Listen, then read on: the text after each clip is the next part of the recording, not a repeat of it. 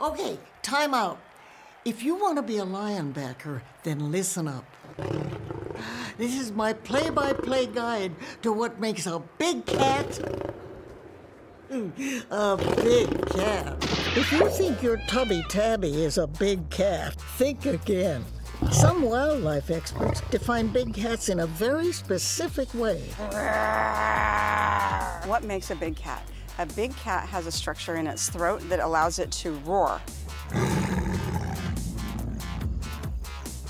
Versus a small cat, which can purr.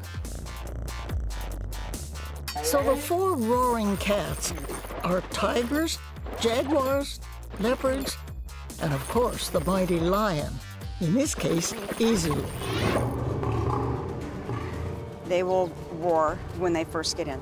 They like to re-announce, this is my home, you all need to know that.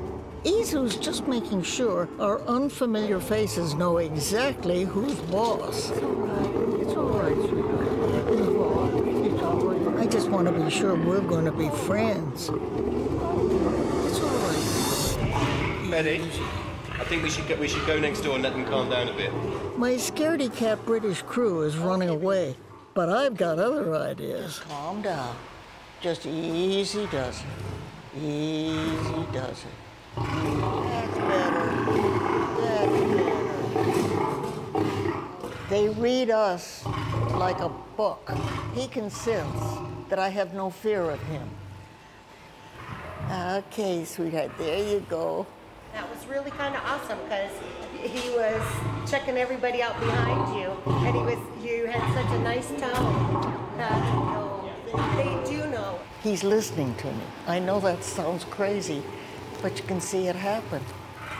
Yes, darling. Yes, darling. Easy does. Oh, is he gorgeous or what? He was just trying to warn us. That's all he was doing. It worked. It worked. Oh, that was a lovely experience.